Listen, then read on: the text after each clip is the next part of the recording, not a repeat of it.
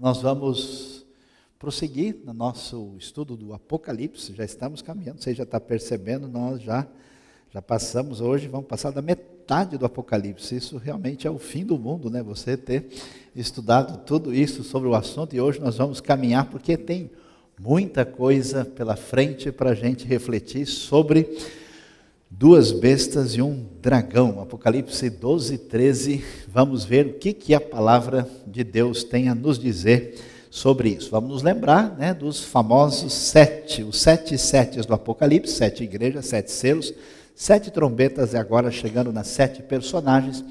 Depois nós vamos ter as taças e o juízo e as coisas novas, olhando aí no esquema dos sete, né? Até aí as sete personagens, mais ou menos no meio do livro, para a gente prosseguir.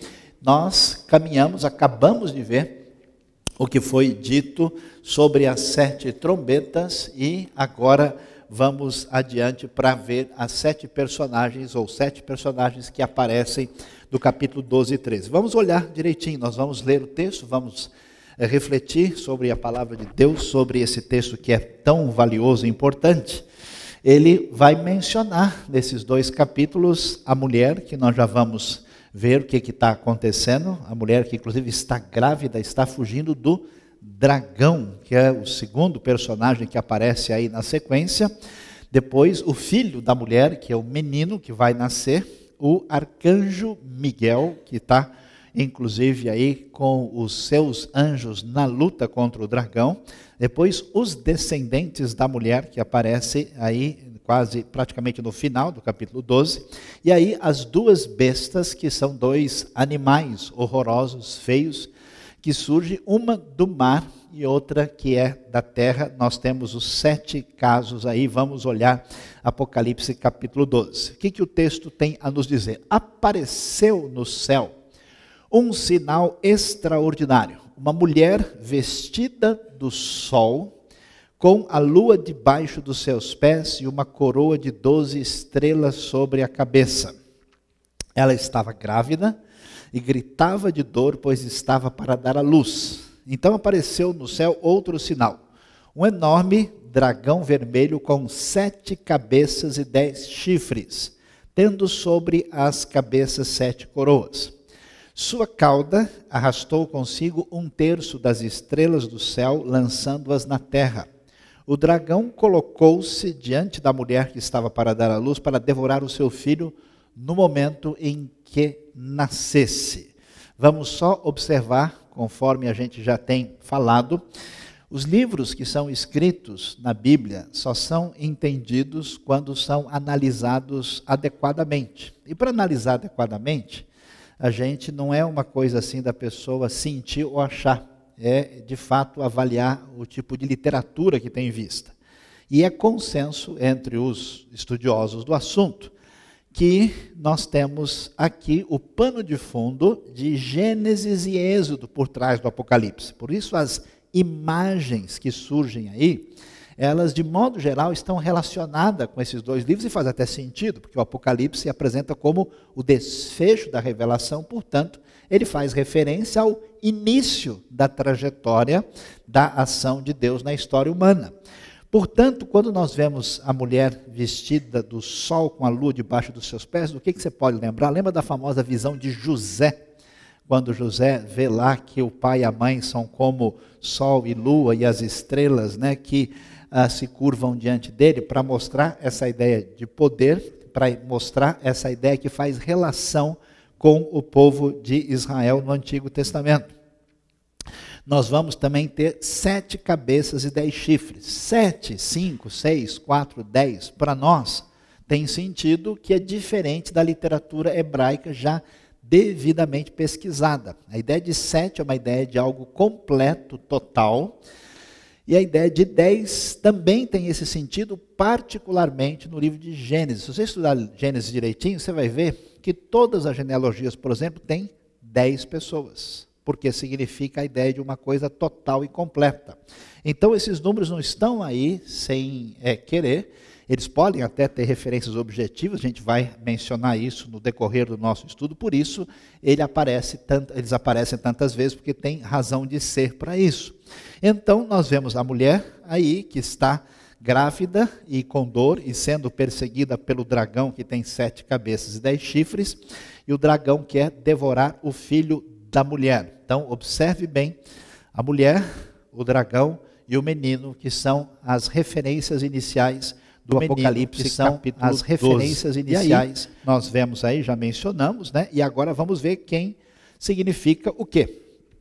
A mulher, não tem dúvida, é uma referência a Israel. Tanto é que você vai ver na sequência a ideia de que ela vai uh, ah, para o deserto, você vai ver que vai nascer o filho da mulher. Esse filho da mulher, não há dúvida alguma, o texto vai mencionar para a gente uh, que ele é Cristo, ele é uh, o Messias que haveria de nascer.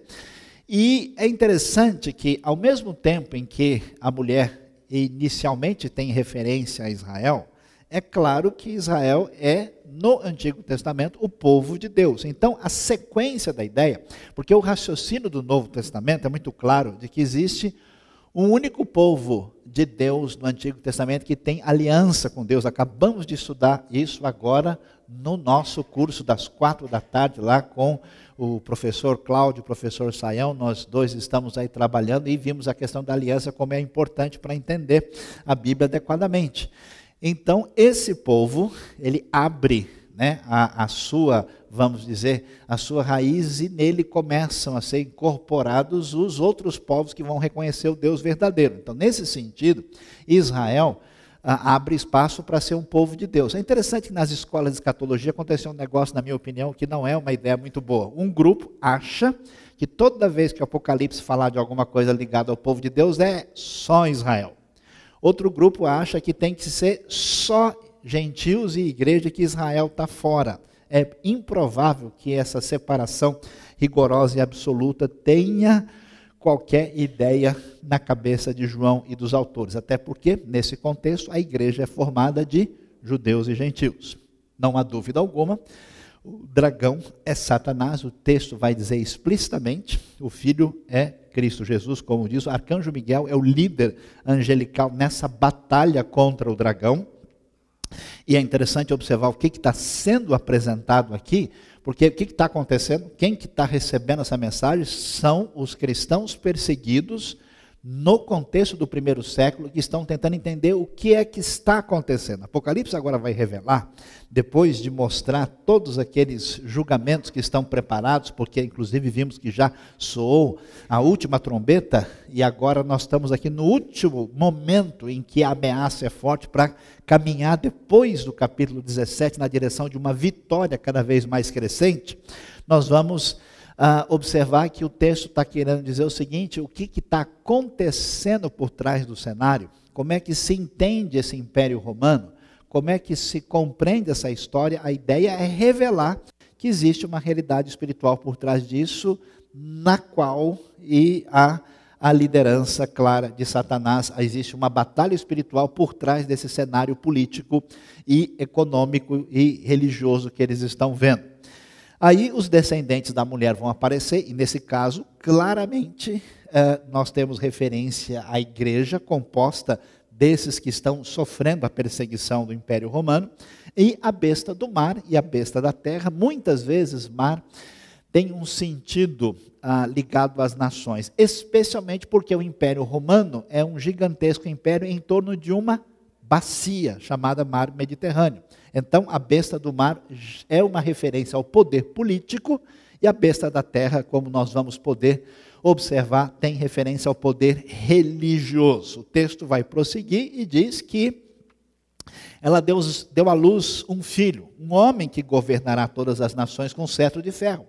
Essa referência é muito clara, que é referência a Cristo, que é a ideia que está nos salmos messiânicos e que se confirma com a ideia de que Jesus é o Messias e que ele haverá de governar dessa forma. Essa ideia surge lá no Salmo 2. Seu filho foi arrebatado para junto de Deus e seu trono, uma possível referência à morte, ressurreição e ascensão de Jesus, quer dizer que o plano diabólico satânico era se voltar contra Cristo e impedir que se cumprisse a obra de Deus, o que não vai acontecer, por isso Deus vai é, proteger aquele ministério de Jesus, e ele é vitorioso. A mulher fugiu para o deserto, para um lugar que lhe havia sido preparado por Deus. Interessante, né?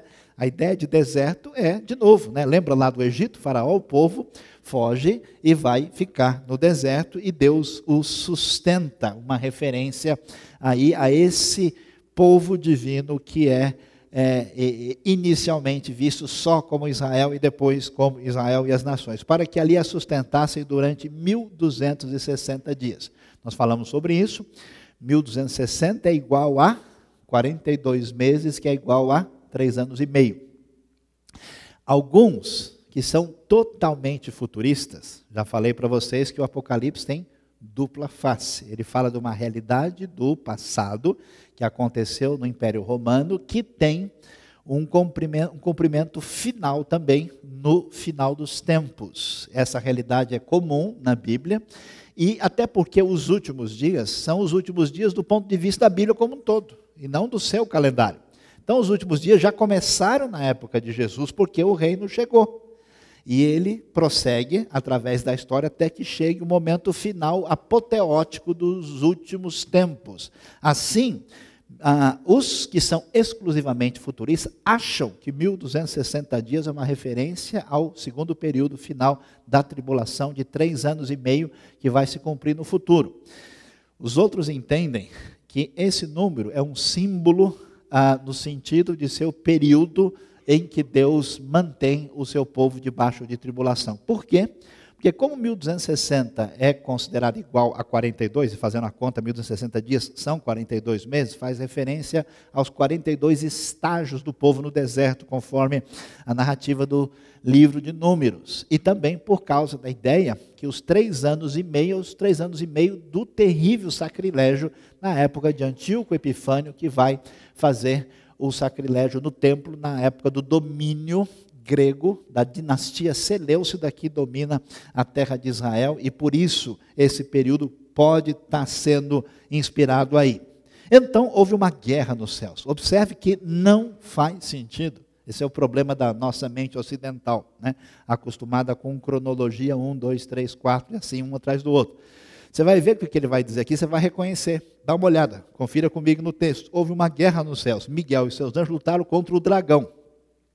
E o dragão e os seus anjos revidaram, mas esses não foram suficientemente fortes, e assim perderam o seu lugar nos céus. Esse é o texto explícito que fala da queda de Satanás, juntamente com os anjos.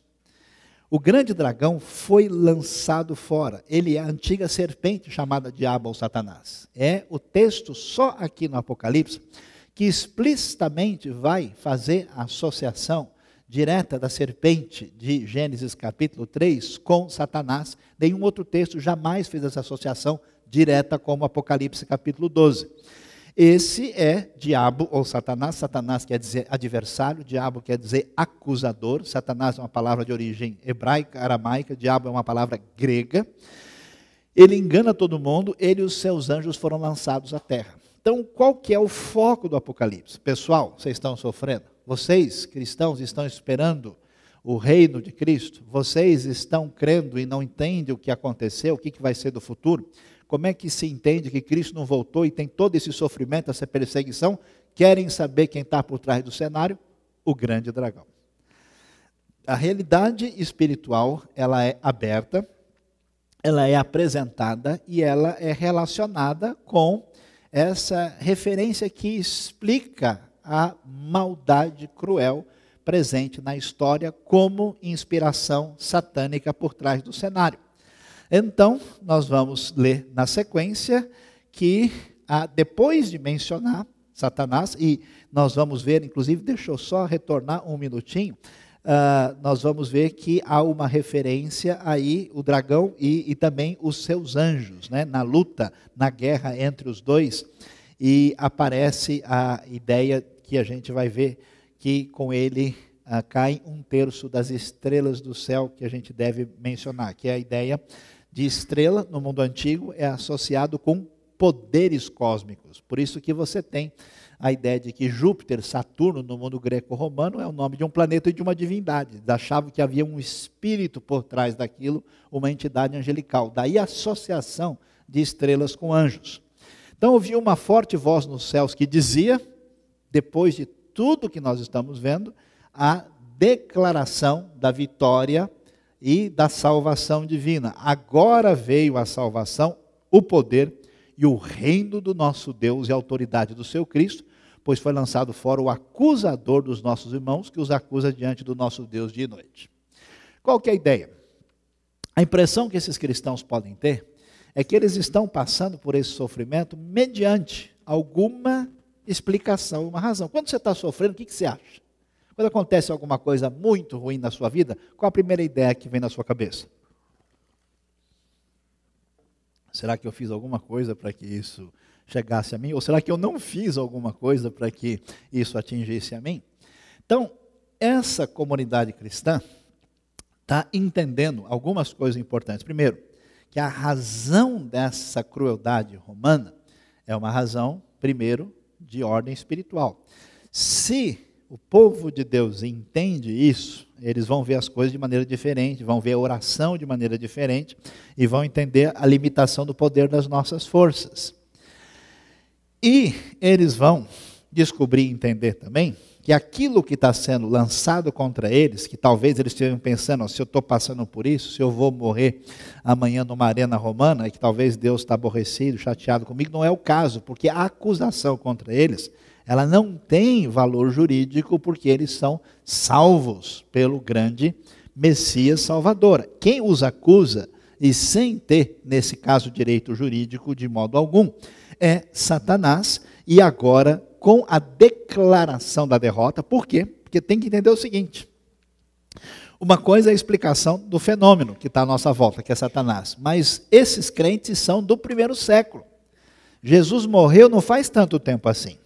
Por isso, a explicação que é dita para eles é o seguinte: que a vinda de Cristo, a vinda daquele que morreu em Jerusalém e ressuscitou, não é só o perdão dos pecados não é apenas a minha consciência agora tranquila diante de Deus. Não é só o significado para a vida, significa uma vitória cósmica e poderosa sobre os poderes malignos de Satanás e os seus anjos. Então, essa declaração que a salvação, o poder, o reino, porque foi lançado, é um, o, o acusador dos nossos irmãos, ela apresenta essa vitória definida, que é uma vitória declarada pela vitória de Cristo e pela vitória dos derrotados. Como? Eles o venceram.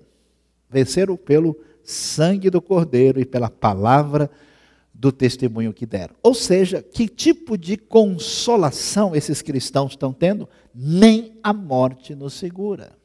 Nem a perseguição do ditador cruel do Império Romano, que nos mata porque ele exige adoração, para ele, que considera o cristianismo relíquio ilícita, proibida, não permitida ah, no sistema e uma ameaça para o domínio cruel romano, nenhum deles tem poder. A vitória se dá pelo sangue do Cordeiro que venceu essa batalha espiritualmente e pela palavra do testemunho. Lembra que testemunho em grego é igual a mártir, é a mesma palavra. E diante da morte, não amaram a própria vida. Aqueles que estavam nas igrejas, que ouviam isso, que sabiam de tantos que tinham morrido e que tinham mantido firme o seu testemunho, estavam entendendo isso de maneira muito diferenciada. Portanto, celebrem os céus e os que neles habitam. Pode ser que a gente não esteja vendo nada, mas a festa lá em cima é grande. A comemoração da grande vitória para quem pode enxergar a realidade com olhos espirituais, ela é tremenda, mas ai da terra e do mar, pois o diabo desceu até vocês. Ou seja, pessoal, Deus tem o controle da situação. O que está acontecendo, toda essa tribulação, toda essa luta que vocês estão vendo agora, e que tem uma espécie de replay no momento final da história, isso está definido no plano divino, na própria permissão da parte de Deus, esse Satanás está cheio de fúria, pois sabe que lhe resta pouco tempo. Ele tem ação limitada, até onde Deus permite, dentro da sua soberania e sabedoria, mas o seu fim logo chegará. Quando o dragão foi lançado à terra, começou a perseguir a mulher que dera à luz o menino. Quer dizer, o dragão sempre agiu contra o plano redentivo de Deus. O povo de Deus sempre, de certa forma, há uma revelação que historicamente o povo da aliança sempre foi perseguido para ser destruído, desde o Antigo Testamento. É uma loucura, por exemplo, você vê o que aconteceu sempre na história do povo de Israel. Não existe povo mais odiado e perseguido em toda a história e sem razão. Não tem sentido. Até mesmo estava vendo uma estatística esses dias, hoje, hoje, de todas as resoluções que a ONU tomou desde que ela foi fundada, 40% delas foram só contra o Estado de Israel. Nenhuma contra a Coreia do Norte ou a China ou coisa assim. E não há ninguém tão perseguido como os verdadeiros cristãos no mundo todo. Se calcula que a gente tem hoje mais ou menos a coisa de 100 mil cristãos mortos, e você não vai ver isso em notícia nenhuma, por ano. Um jornalista americano, uns anos atrás, lançou um livro falando sobre sangues e mártires, mostrando a loucura que é isso. E você ouve uma notícia muito assim: tumultos em tais lugares por razões religiosas provoca tantas mortes. Não houve tumulto, coisa nenhuma. Um grupo de pessoas ah, cheias de ódio chegam no lugar, fecham ali e incendiam uma igreja e matam um monte de pessoas. Acabou, como aconteceu na Nigéria ontem. Um casamento, o pessoal chegou atirando e matou todo mundo. Só o ano passado, no Egito, eles queimaram mais de 25 igrejas. Isso com gente lá dentro.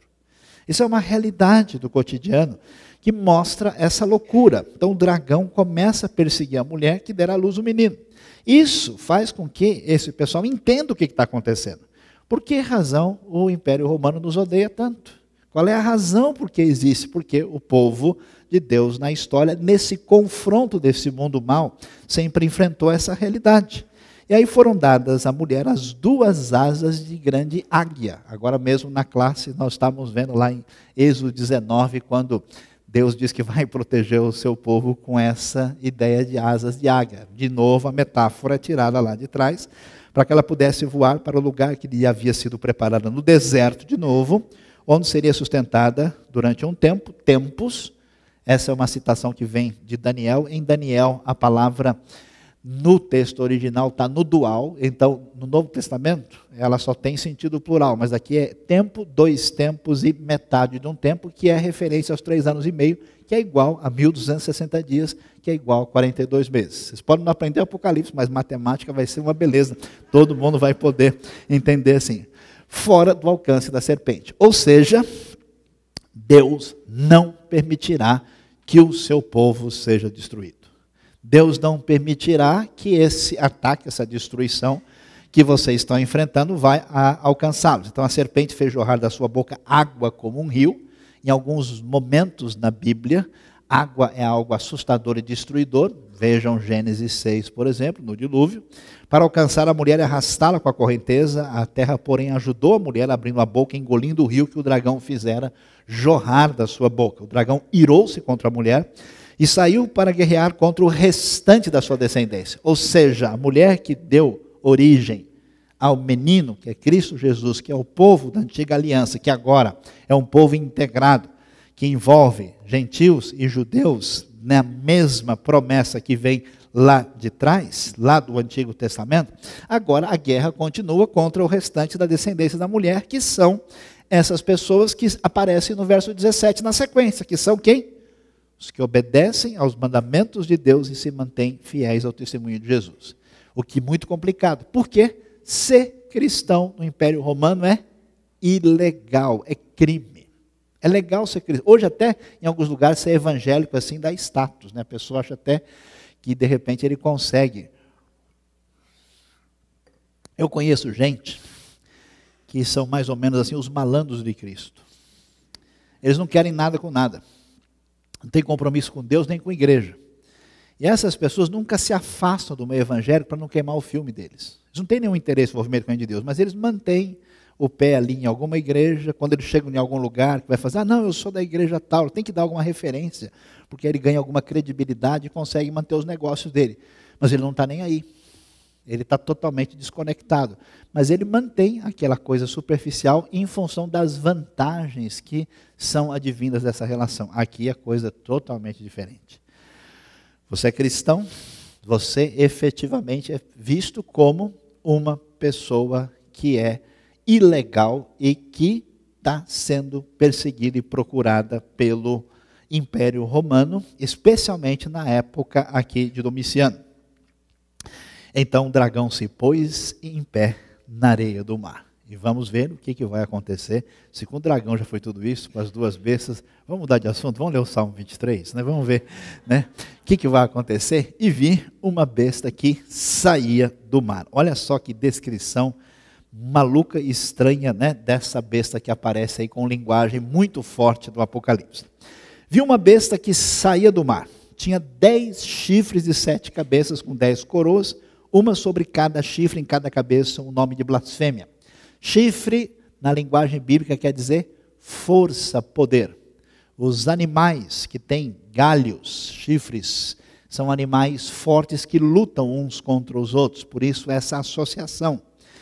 Tinha dez chifres, sete cabeças. Cabeça não tem nada a ver com intelecto, com pensamento, tem a ver com a ideia de autoridade. E a ideia de reino, esse 10 e 7 nós vamos olhar com detalhes aí na sequência, já mencionamos isso. A besta que viera semelhante a um leopardo, tinha pés como os de urso e boca como de leão. Todos os três são animais perigosos, carnívoros, destruidores, que implicam em ideia de poder e destruição e fazem associação com uma outra ideia de animal que a gente já vai ver na sequência, o dragão, Satanás deu a besta o seu poder, o seu trono e grande autoridade. Você imagina o que isso quer dizer?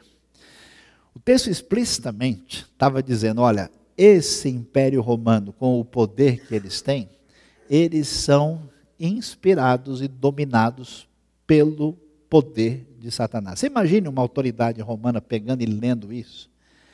E por isso que o Apocalipse é um dos livros mais subversivos da história humana. O Novo Testamento ele tem uma, uma atitude que a gente chama de dialética. Ao mesmo tempo que ele diz submeta-se à autoridade, pague impostos, não saia quebrando tudo aí por aí e não tente vencer as coisas pelo seu poder, pela sua força, ele é necessariamente subversivo, rejeitando o poder instituído nesse mundo. Por isso que Lutero disse uma coisa muito interessante, que o cristão é o mais escravo de todos os homens, porque ele está sujeito e submisso a todos, mas é o mais livre de todos, porque ele não se submete a ninguém, a não ser a palavra de Deus. Então, a autoridade vem do dragão, uma das cabeças da besta parecia ter sofrido um ferimento mortal. Mas o ferimento mortal foi curado, todo mundo ficou maravilhado e seguiu a besta.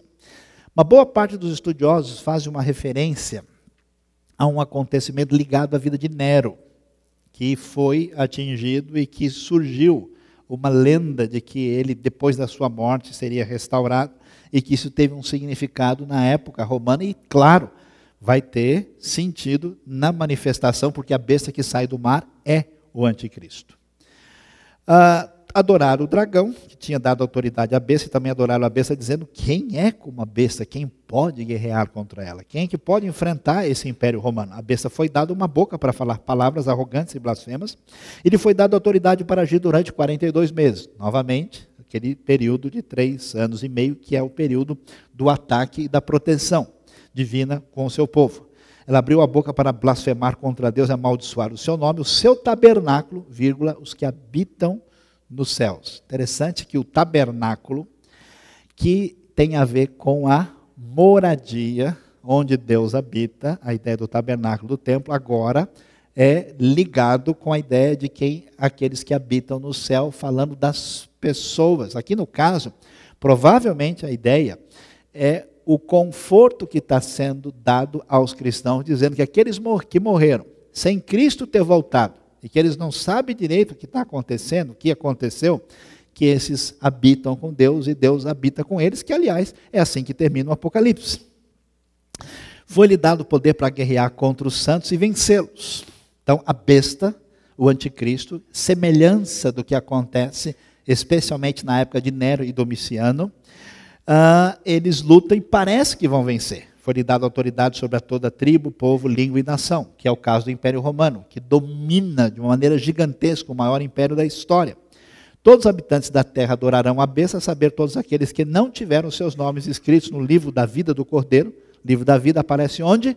Êxodo de novo, pela primeira vez e é retomado aqui, que é o livro daqueles que pertencem a Deus, que foi morto desde a criação do mundo. Ou seja, o Cordeiro, aquele que morreu, aquele que é Cristo, não é uma coisa que aconteceu sem a total ação completa da providência e do plano de Deus, porque ele foi morto desde a fundação do mundo. Vocês acham que os romanos e os líderes religiosos e a multidão matou Jesus? Que nada, isso já está claramente na mão de Deus. Aquele que tem ouvidos, ouça, para que vocês saibam que nada vai ser por acaso. Se alguém há de ir para o cativeiro, para o cativeiro irá.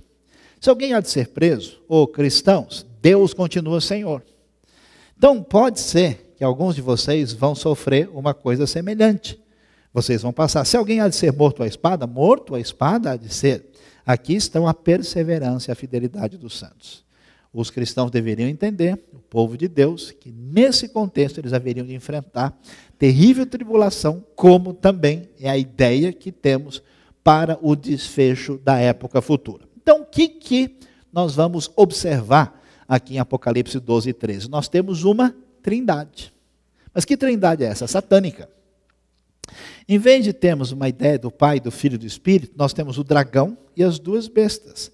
Uma espécie de trindade satânica, onde nós vamos ter Satanás explicitamente ah, apresentado aqui, a besta do mar, que é o anticristo, que faz referência ao poder político de Roma e que no futuro vai se levantar da mesma maneira no momento apoteótico da história. E a besta da terra, que é o falso profeta, que é o poder religioso. O poder religioso que, associado ao poder político, numa inspiração satânica, se volta contra Deus. Se a besta do mar e da terra, o falso profeta e o anticristo vão ser uma coisa só, as duas coisas numa pessoa, esses vão ser dois separados, a gente provavelmente vai descobrir. Vamos falar uma coisa interessante sobre isso. Eu acho interessante como é que as pessoas descobrem quem é o anticristo. Eu andei vendo livros de escatologia de todo mundo e descobri uma coisa interessante. Que nos Estados Unidos, a maior parte dos livros que acham o anticristo, acham sempre fora do território americano.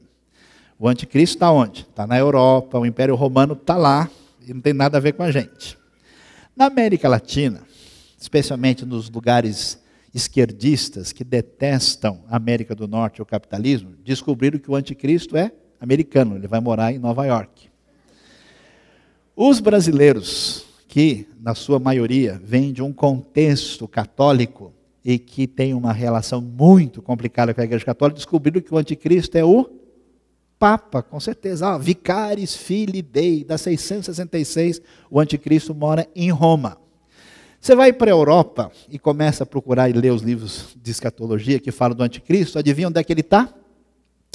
No mundo muçulmano, porque está ali do lado deles. Ele vem da Turquia, da Síria, porque eles estão receosos do poder islâmico que está dentro e ao lado da Europa. Então eles acham o anticristo do lado de lá. Você vai para a China e para a Ásia, adivinha onde é que está o anticristo? No Ocidente. O Império Romano é Europa, Estados Unidos e todo mundo que é parente deles. Nós estamos é fora. Nós não temos nada a ver com isso, chegamos agora. Provavelmente os brasileiros vão fazer um dizendo que o anticristo acho que mora em Buenos Aires, ele torce para Boca Juniors. Né? Talvez seja a interpretação teológica mais profunda. Né? Qual é o perigo dessas coisas? É fazer o que muita gente tenta fazer equivocadamente, de fazer uma interpretação limitada e parcial, escolhendo o anticristo a partir da sua visão particular. A ideia, seguramente, aqui é uma referência ao Império Romano. Esse Império Romano futuro, renascido, dificilmente vai ficar uh, exclusivo de um grupo, de uma nação, de um sistema. Provavelmente vai atingir a terra toda. Afinal de contas, porque a cultura mundial ela é uma reedição do Império Romano. Vi uma outra besta que saía da terra, com dois chifres, como cordeiro que falava como dragão. Ou seja, essa besta você vê que ela é falsa. Ela, ela fala, é, ela, ela é como o cordeiro, mas na hora de falar é como o dragão. Exercia toda a autoridade da primeira besta em nome dela e fazia até que seus habitantes adorarem a primeira besta. Ou seja, a besta da terra, que é o falso profeta, que é o poder religioso, leva à adoração do imperador. Aqui, o sistema religioso que fazia com que o imperador romano fosse cultuado, cujo ferimento mortal havia sido curado. Essa provável referência a uma suposta, é, é, é, suposta ressurreição ou cura de Nero. E realizava grandes sinais, chegando a fazer descer fogo do céu à vista dos homens. Por causa dos sinais que lhe foi permitido realizar em nome da primeira besta, ela enganou os habitantes da terra, ordenou-lhes que fizessem uma imagem em honra à besta que fora ferida pela espada e contudo revivera. Foi-lhe dado poder para dar fôlego à imagem da primeira besta, de modo que ela podia falar e fazer que fossem mortos todos que se recusassem a adorar a imagem. A ideia do mundo antigo, do mundo pagão, sempre foi ligada a mexer com poderes mágicos e fazer coisas miraculosas. E a Bíblia avisa que alguém pode fazer poderes, agir com poderes miraculosos que não vêm de Deus. E mais do que isso, havia uma, uma técnica no mundo antigo em que os, os, os sujeitos envolvidos com uh, essa associação religiosa enganavam as pessoas. Eles faziam um tipo ventriloquismo, e traziam uma imagem diante das pessoas e faziam de conta, imitavam, faziam lá, é, para dizer que a imagem falou. E as pessoas, assim como hoje, né? Uh, aqui quando fala que deu, que fez a imagem falar, o pessoal já sei, a besta é a televisão. Pois é, não é bem o caso, né? Às vezes quem assiste televisão tem um comportamento não muito inteligente, semelhança de besta, é outra coisa. Depende do que vê de modo que ela podia falar e fazer com que fossem mortos os que se recusassem a adorar a, a imagem, também obrigou todos, pequenos, grandes, ricos, pobres, livres, escravos, a receberem certa marca da mão direita ou na testa. Por que a marca? Porque os escravos eram marcados assim, como propriedade de alguém. Então, nesse sentido, esse poder político e religioso de Roma, que é um poder que vai envolver e controlar toda a realidade econômica, como controlou, você não tem como sair fora, e nesse sentido, o mundo de hoje assusta, porque nunca nós tivemos condições tão impressionantes de ter controle sobre a vida das pessoas. O sujeito desce em qualquer lugar, vai ver todos os dados dele estão ali. Há uns anos atrás, um sujeito processou o governo da Suécia, que um dia o governo sueco resolveu colocar num jornal toda a informação sobre ele. E ele descobriu que a vida toda dele estava lá. Isso não tinha né? nem internet, nem Facebook, nada disso. Imagine nos dias de hoje. Então, as condições, se a coisa perde o seu eixo de respeito à democracia e aos direitos humanos, que na verdade tem uma raiz bíblica, isso, né? porque quando a Bíblia fala que Deus é o Senhor, quer dizer que ninguém pode mandar, todo mundo é igual para que ninguém pudesse comprar nem vender, a não ser quem tivesse a marca, que é o nome da besta, ou o número do seu nome. Então, a ideia é que esse domínio ante Deus vai controlar o mercado e quem não se submete não tem como escapar sem prejuízo muito grande. Aqui a sabedoria. Aquele que tem entendimento calcula o número da besta, pois o seu número é o número de homem. Homem, que sentido? É número humano, não é ligado a Deus é uma reação, atitude humana contra Deus, o seu número é 666, que significa seis, três vezes, provavelmente por causa do dragão e das duas bestas, e não é um número para a gente ficar achando. Eu vi uma vez um material de escatologia sendo, dizendo que tal lugar era do diabo porque ele era vizinho do 664. Né? Me lembro na cidade de Dutra, quando mudou, mudou o telefone, passou a ser 5666. A pessoa falava, qual é o seu telefone? 5 besta e continuava lá. Será que ali tem alguma influência do mal? Não é esse o caso. Né? O, o, fato do número não significa nada. Né? Se você for fazer uma compra e chegar a 666 reais, pode ser que você fez uma grande besteira, dependendo do que você comprou.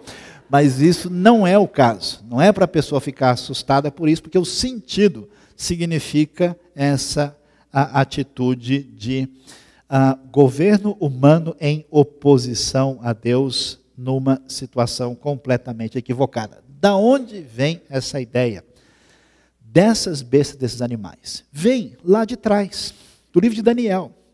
Qual que é a grande crise que o livro de Daniel enfrenta?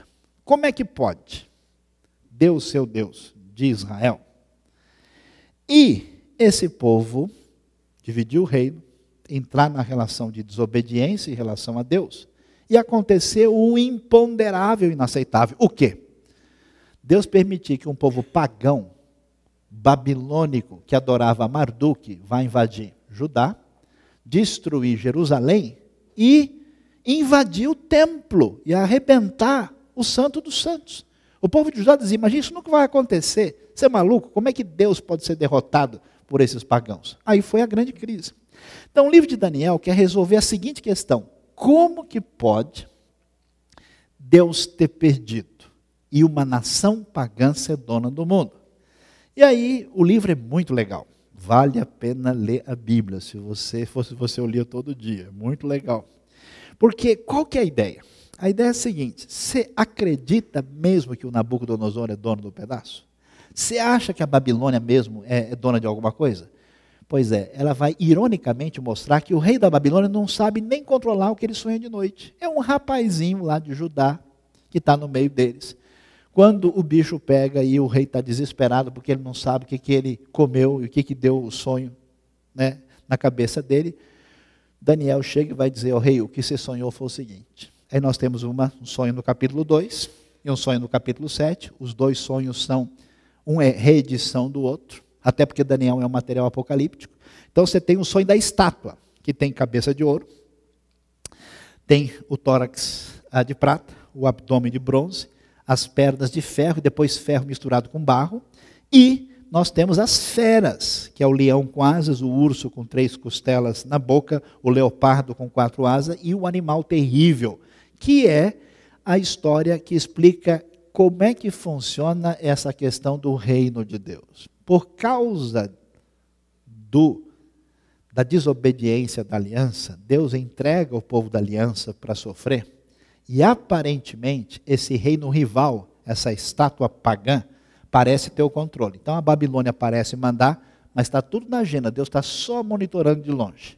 Parece que depois quem manda são os ah, medos e persas, parece que depois quem manda são os gregos depois de Alexandre o Grande, e depois vem o grande império romano, que vai ser o império da época de João, que é o animal terrível. Por isso que as bestas aparecem aqui, em função dessa referência. E o que acontece no final dos tempos, quando essa estátua for destruída por uma pedra lançada sem a, a força, sem o apoio das mãos humanas, quer dizer que o reino de Deus será restabelecido, a estátua cairá, Roma será destruída, a Roma renascida, quando o reino chegar definitivamente. E nesse sentido, teologicamente, ainda estamos no Império Romano. E é impressionante. Roma durou o que durou, as leis que a gente tem é inspirada em Roma, as cidades que nós temos são inspiradas em Roma. A língua mais importante do mundo hoje é o inglês, que é exatamente metade de língua de romano com língua dos outros bárbaros da Europa.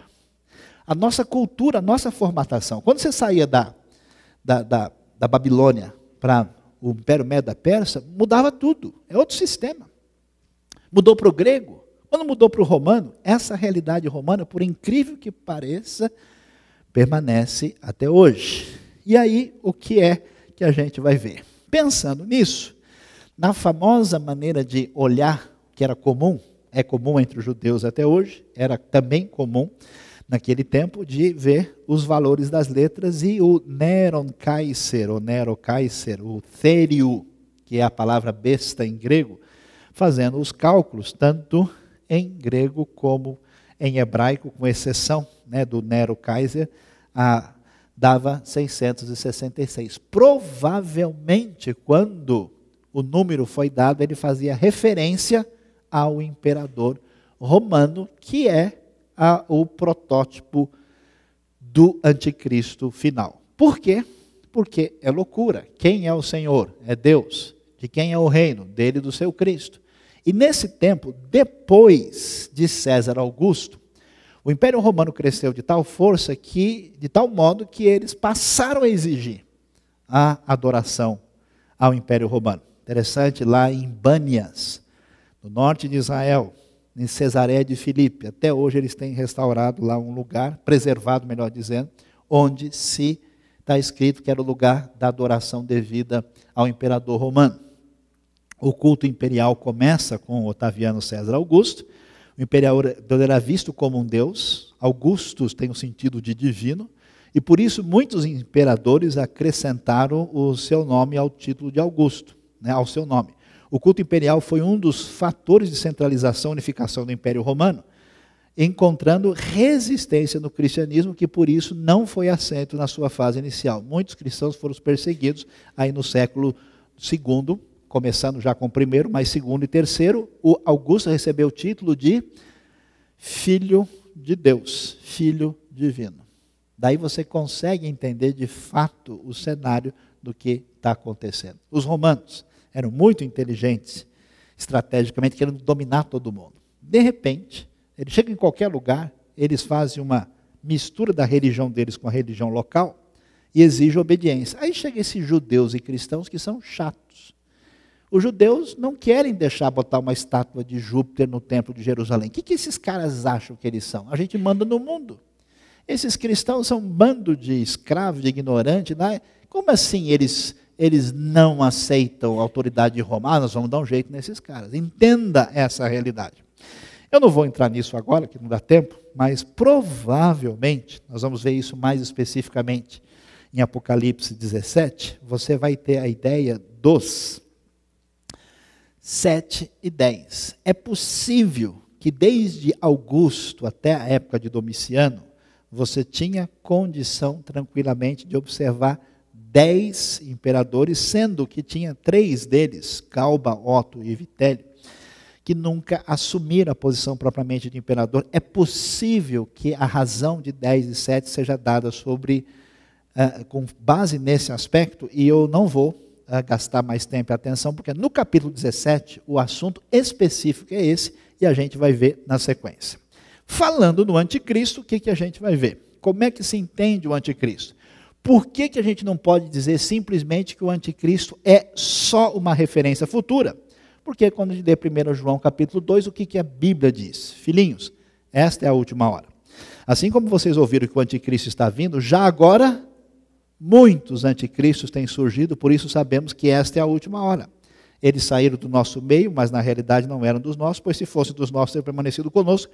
O fato de terem saído mostra que nenhum deles eram dos nossos, falando dos apóstatas em 1 João capítulo 2. Ou seja, o anticristo é o espírito deste mundo inspirado em Satanás que rejeita o governo de Cristo e propõe o governo que não pertence a Deus. Num certo sentido, Hitler é um anticristo.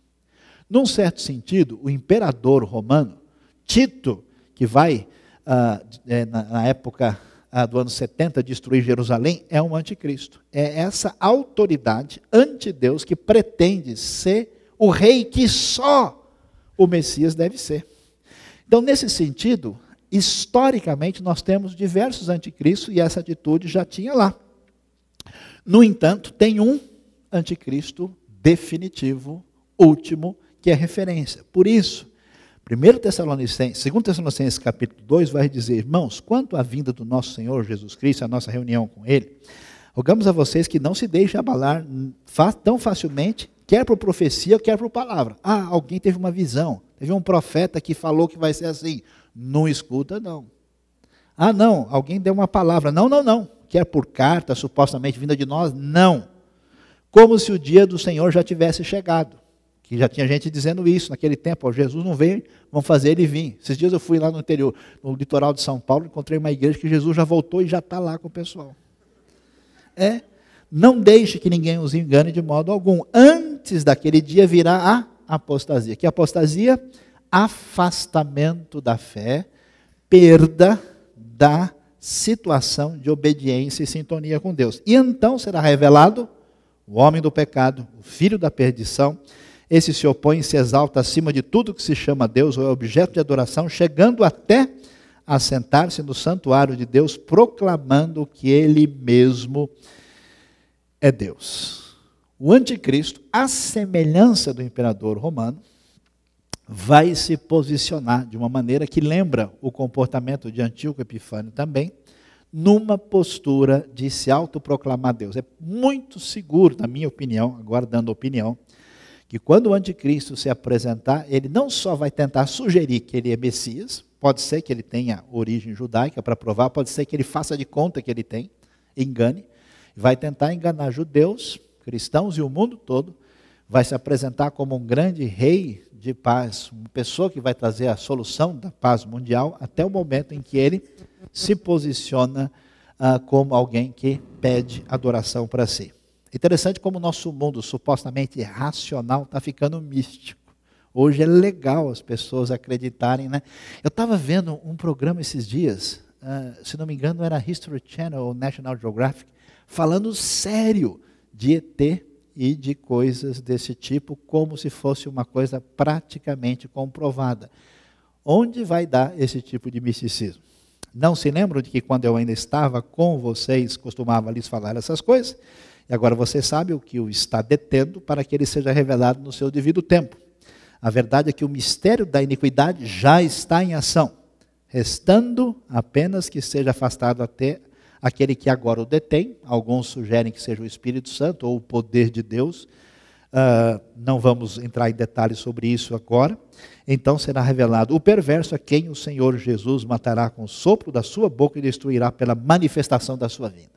Que significa a vinda definitiva de Cristo para resolver essa situação contra o anticristo, que é assessorado aí pelo falso profeta, que envolve essa ligação de poder político com poder religioso.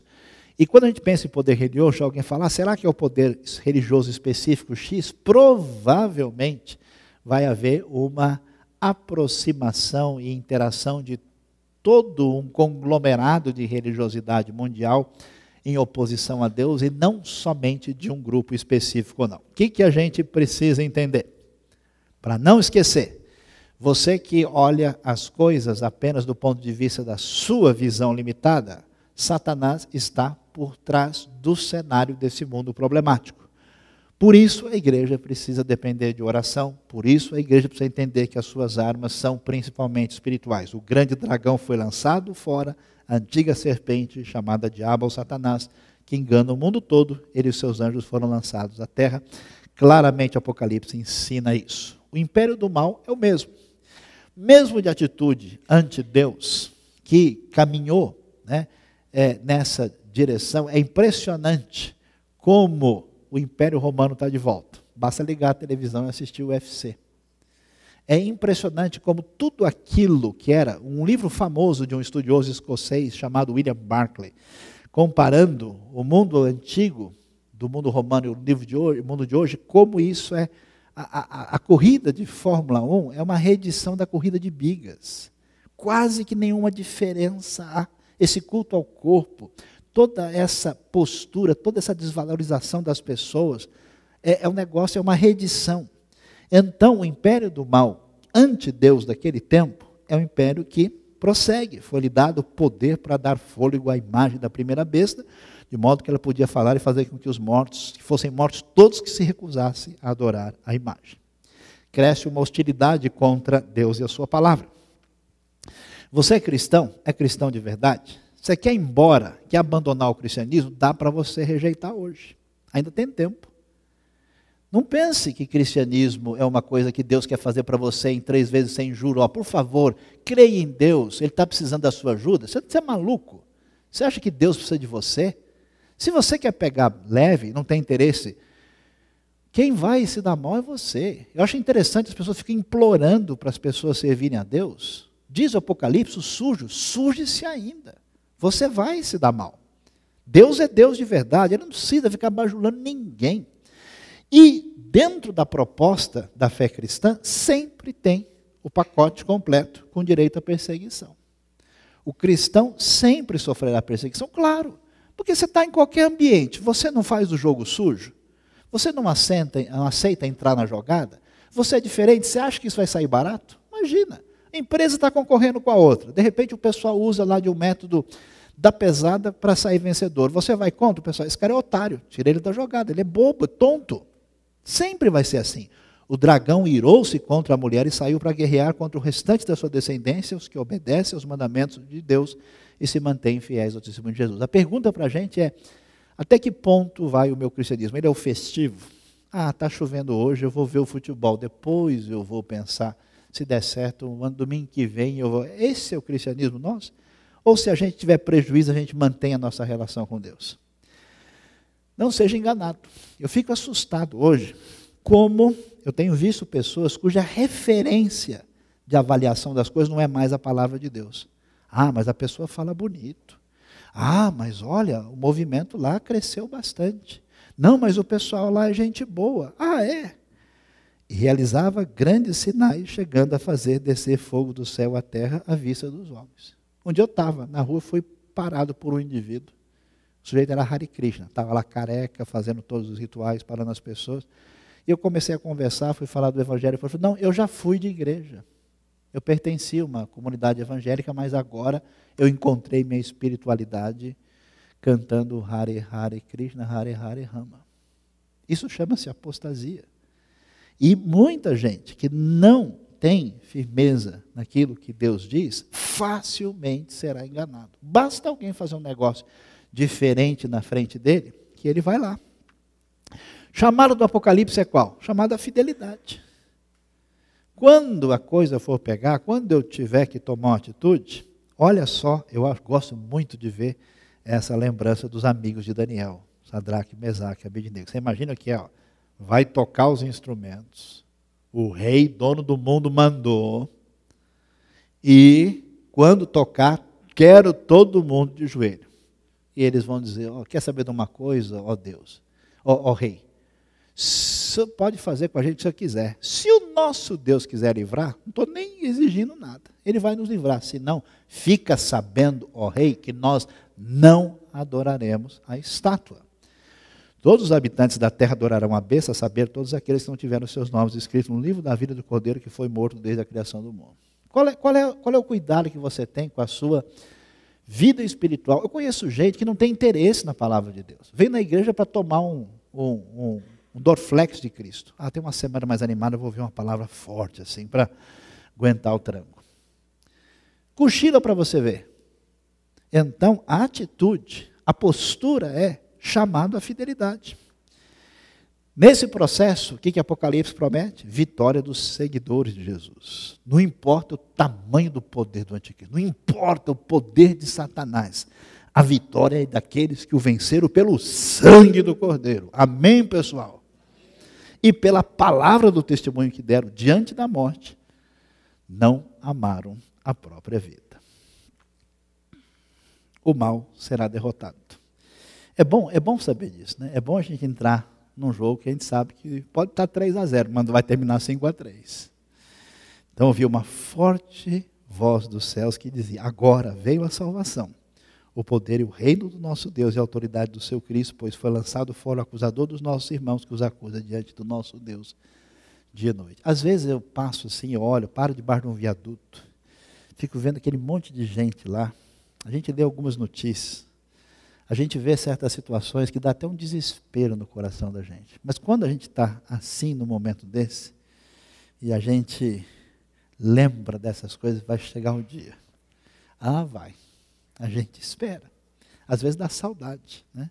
O hino antigo que a gente cantava dizia: Eu tenho de Jesus saudade, quando será que eu vou? Vai chegar um dia que o reino do, deste mundo se tornou do nosso Senhor e do seu Cristo, e ele durará para sempre.